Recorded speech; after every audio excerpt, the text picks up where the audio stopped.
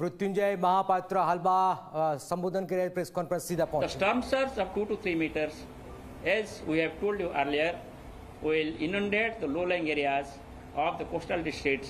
Especially, its impact will be more over Kutch district, followed by Morbi and uh, uh, Jamnagar and Porbandar districts, uh, Jamnagar and uh, Dwarika districts. So the heavy rainfall and the saline water due to storm surge will combinedly lead to inundation of the low-lying areas in these coastal districts. So therefore, we advise people to be calm and quiet and stay safe in the shelters or their own home which is safe. They should not move around. The transport should be regulated. The railway transport, airport, air, air transport, navigations, and surface transport should be completely regulated in the region. There should be complete suspension of the uh, marine activity and the fishing activity over the Northeast Arabian Sea till 16th morning.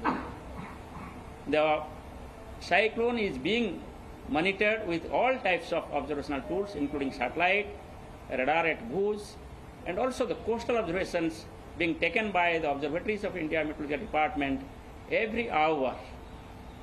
All these informations are being utilized to provide you with the hourly update since noon of today. We will continue this hourly update till the cyclone hits the coast. We will be providing you the briefing again after three hours. Thank you. Sir क्या दिल्ली के मौसम पे भी When is the landfall expected in English, sir? The landfall is expected tonight, by tonight, then landfall process will be completed. The landfall process is likely to commence sometimes around 6 pm and it will go on till the midnight of today.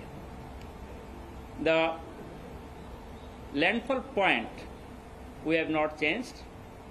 Whatever we predicted, we are sticking to that.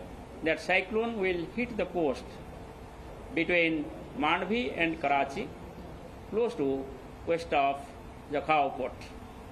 Sir sir Delhi के मौसम पे दिल्ली के मौसम अभी landfall किस speed से sorry अभी जो साइक्लोन है किस स्पीड से मूव कर रहा है और लैंडफॉल के वक्त कितनी स्पीड से साइक्लोन अभी जो धीरे चल रहा था सुबह पाँच से छः किलोमीटर रफ्तार में अभी पिकअप किए हैं।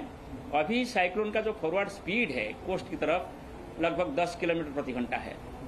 और हमारा उम्मीद है कि जब शाम की टाइम आएगा इसका और स्पीड बढ़ेगा और 14 किलोमीटर आवर ये मूव कर सकता है शाम के वक्त। इसीलिए जो हमारा प्रडिक्शन है कि मिडनाइट तक ये साइक्लोन का जो आई है और सेंट्रल पार्ट है वो लैंड पर चला जाएगा।